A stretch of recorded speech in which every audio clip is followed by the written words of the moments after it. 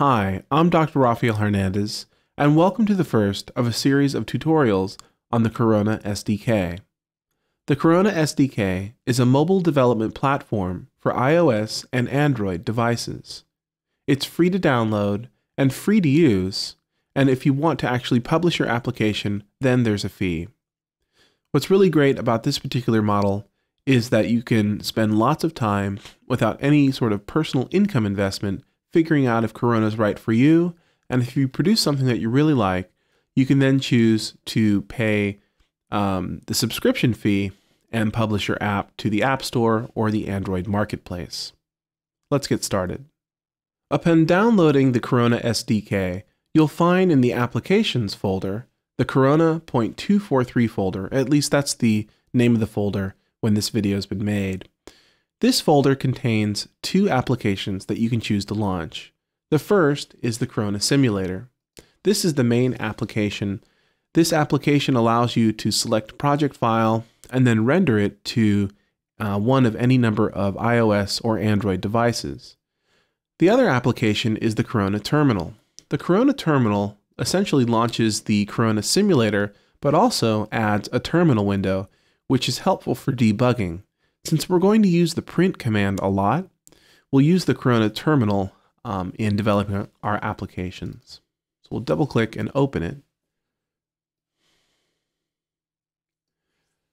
As you can see, the Corona simulator um, uh, has a window with lots of example files and allows us to open our own file by going to File, Open, and then following the process.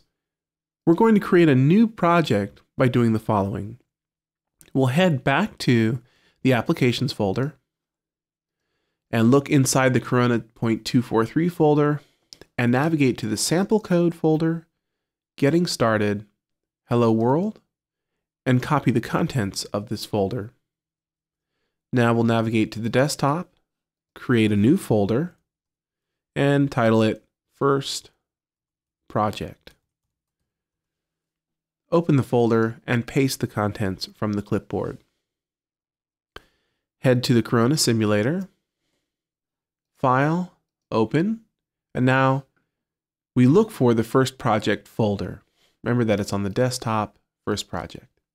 We don't need to click the main.lua file, which is the only file that's highlighted.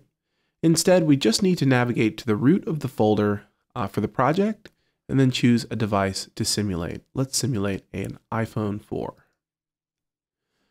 So this is what this project looks like when rendered to the device. It's a simple picture of the Earth um, as taken from outer space and the text Hello World.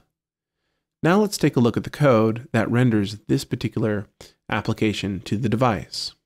Go to the first project folder and double click the main.lua file. Corona uses Lua, which is an embeddable scripting language, in order to create um, applications. Lua is very similar to ActionScript or JavaScript, but has some notable, noticeable differences that we'll point out along the way. This particular project is very simple in that it has only five lines of code. The first line, which is really line 11, because these um, this green text here is commented lines. In Lua, you comment by using two dashes. The first line of code creates a new image called world.jpg, and that's the image of the earth in the background. The second line creates new text called Hello World, positions it, uses a um, system font at a certain size. And here we see it at the top. And then after the text is created, there's some additional positioning the X and the Y based on the width of the display with some math. So the width divided by 2 and the width divided by 4. Finally, the color for the text is set. And this is also something that's um, different here. You actually have to specify individual RGB values uh, when setting color in Corona. So now what we'll do is we will uh, choose to change one particular property just to see what happens. So let's change the Y property so that we actually code a number instead of display.contentWidth to see what happens. So we'll change this to 250. and now go to the device. And you can see that Corona has detected um, that I've changed the source of the application. And so it's prompting me to either relaunch the simulator or ignore. I'll choose to relaunch. And now, having changed the Y position of the text to 250, it's moved down 250 pixels. So one thing that's a bit tricky in Corona is there isn't necessarily an absolute XY00 origin at the top left, like you find, for instance, in Flash uh, or in ActionScript. Instead, the origin does change and can be set. And this is both a good thing and a bad thing. It's a good thing in that sometimes you want the images to be oriented um, around the center of the image, or perhaps the top left or bottom right. But then if you've worked a lot with other programs like Flash and you're used to stage orientation always being in the top left, top right, etc., um, it can be a bit challenging um, to remember that the orientation of these objects isn't always the same. But we'll deal with that in later movies. So now it's time for us to create um, a project. And the first thing that we'll do is clear out all the code in the background. Let's save it and then render the device. And now we have a blank screen. We'll bring the terminal window into view.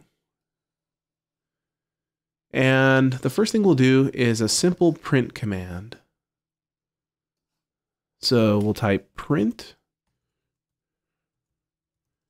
and open and close parentheses and we'll type a string, save it, and render the device. So here we see in the terminal window, hello world. Now we can also create some simple variables. We'll use the keyword local for most of our variables. Corona works fast with the local keyword, and the local keyword defines uh, variable scoping. Now, this is a bit of a complicated uh, topic, one that we will address as it comes up uh, in each movie. But for now, when we define variables, most of the time we're going to use the local keyword and then the name of the variable. So first underscore name equals Rafael, my name. Then local last name equals Hernandez. Now we will display this in the terminal window. Since we're dealing with variables and not the strings directly, we don't need the quotes. First name and concatenation or the combining of strings in uh, Lua is done with two dots. Last name save, relaunch the simulator, and there we have my name. Notice how, the, how there's no space between my first name and last name. We'll go ahead and add that. Dot dot space start quotes space end quotes. So we're we're adding a string that has a space and then another concatenation. And there is my name. First name space last name. So this video was just to get our feet wet and take a look at um, the Corona SDK and the Hello World uh, provided by Ansca. Uh, we see that very few lines of code are needed to render images or text to the screen. And also at the end, we see that we can use the print command to print contents from our uh, project to the window. And in future movies, we're going to take a look at rendering our own display images, moving them around the screen, um, experimenting with some of the uh, affordances of the device, such as touch or accelerometer or um, uh, location. Uh, and as well, we'll take a look at the great physics engine that Corona provides.